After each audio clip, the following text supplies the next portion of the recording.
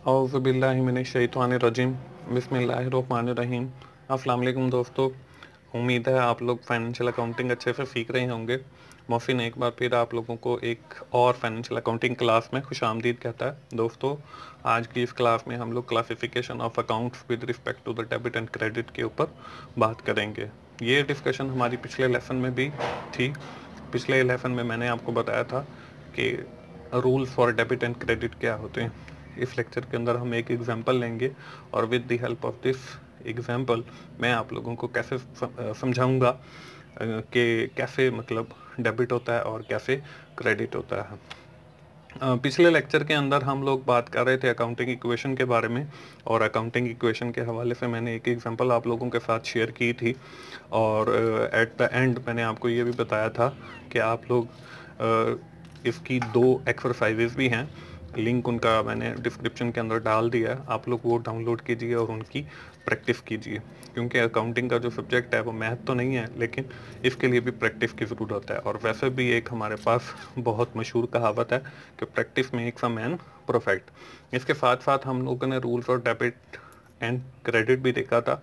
और आज के इस लेक्चर के अंदर हम लोग वही rules of debit and credit को आगे कंटिन्यू करेंगे और मैं आप लोगों के साथ एक एग्जांपल शेयर करूँगा। और आज के लेसन का भी वही है, जो मैं आपसे एग्जांपल शेयर करूँगा, वो भी। और साथ इसकी एक्सरसाइज फ़ाइल भी मैंने डिस्क्रिप्शन के अंदर लिंक डाल दिया आप लोग उस लिंक पे जाइए, वहाँ से वो डाउनलोड कीजिए और उसकी प्रैक्टिस कीजिए और फाइनेंशियल अकाउंटिंग को अच्छे से सीखिए और साथ साथ हम लोग फ्लो ऑफ़ ट्रांजेक्शन के ऊपर भी बात करेंगे।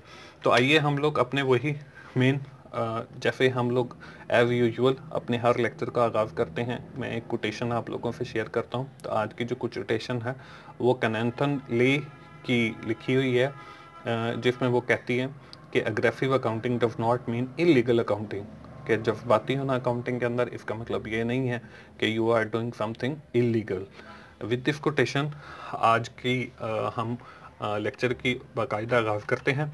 जैसा कि मैंने आपको पहले बताया कि हम लोग एक मिसाल के ज़रिए आज rule for debit and credit को सीखेंगे।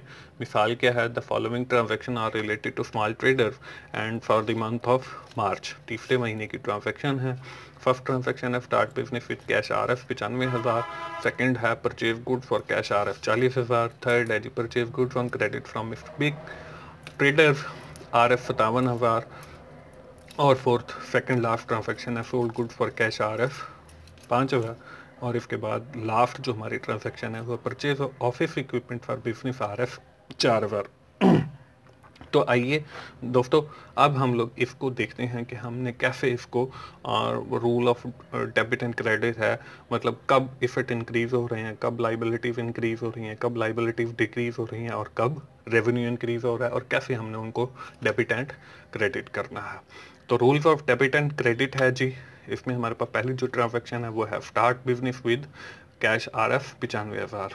दोस्तों, इसमें देखें, हमने सबसे पहले ये देखना है इसका हम एक चार्ट बनाने जा रहे हैं। चार्ट के अंदर हम देखेंगे कि इसके अंदर कौन कौन से दो अकाउंट इन्वॉल्व हैं, फिर देखेंगे कि वो दो अकाउंट्स जो हैं हमारे जो मेन अकाउंट्स हैं मतलब एफर्ट्स लाइबिलिटी एक्सपेंसिस और इनकम वो किस कैटेगरी में फॉल करते हैं, और उसके बाद हम देखेंगे क्या वो इंक्रीज़ हो रहा है या डिक्रीज़ हो रहा है, और फिर हम डेबिट के अमाउंट देखेंगे और फिर क्रेडिट के। इन दिस ट्रांजेक्शन हम लोगों ने देखा कि हमारे पास दो अकाउंट इन्वॉल्व हैं, एक कैश का, एक कैपिटल का है कैश जो है, वो इफ़ेक्ट है, जो कैपिटल है, वो हमारा इक्विटी का है।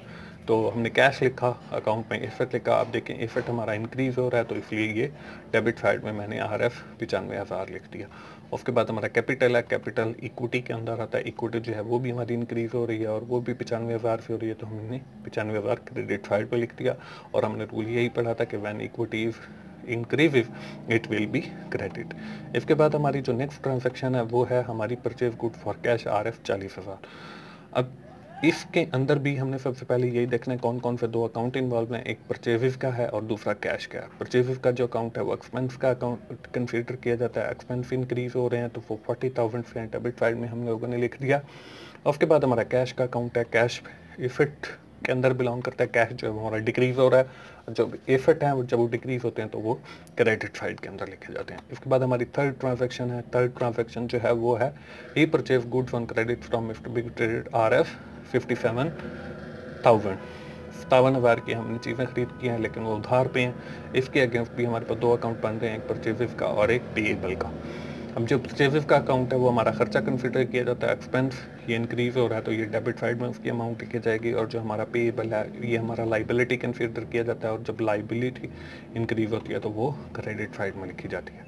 इसके बाद जो है, हमारा जो फोर्थ सेकेंड लाइफ ट्रांजेक्शन है, वो फोर्थ गुड्स फॉर कैश अब देखें कैश हमारे पास आ रहा है और चीज़ें जा रही हैं।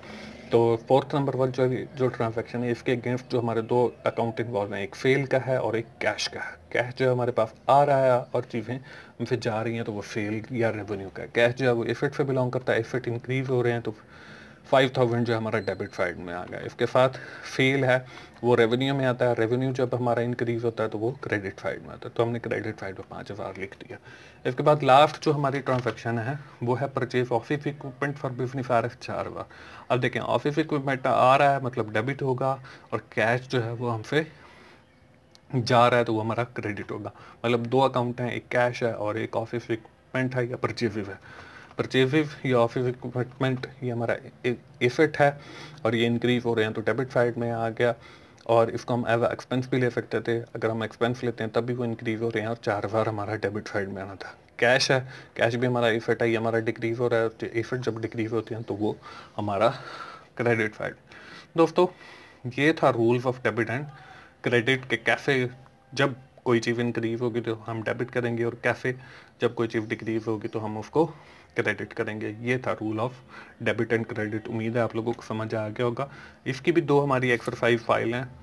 लिंक जो है मैंने डिस्क्रिप्शन के अंदर पोस्ट कर दिया, आप वहाँ पे जाइए, वो फ़ाइल डाउनलोड कीजिए और प्रैक्टिस कीजिए। इसके बाद जो हमारा आज की इस क्लास का जो नेक्स्ट है वो है फ्लो ऑफ़ ट्रांजेक्शन हमने ये देखना है कि ट्रांजेक्शन का जो फ्लो है वो क्या है? ट्रांजेक्शन का फ्लो हमारा इवेंट से स्टार्ट होता है। इवेंट से बाद कोई भी ऐसा ट्रांजेक्शन भी हो सकती है। आ, कोई मॉनिटरी टर्म इवन भी हो सकता है। इसके बाद जो हमारा सेकंड पॉइंट पे आता है वो है वाउचर वाउचर क्या है जी? वो तहरीरी सबूत है उस इवेंट का जो अकर हुआ है।